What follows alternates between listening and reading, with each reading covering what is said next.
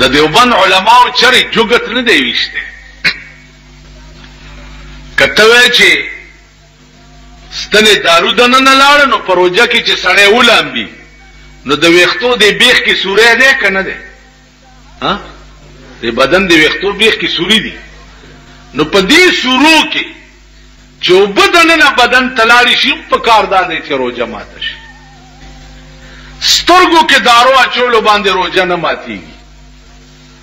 غوږ کې دارو اچولو باندې روژه ماتېږي ځکه د غوږ کنکشن چې دی هغه د جوف د دماغو سره دی د سترګو کنکشن ورسره نشته.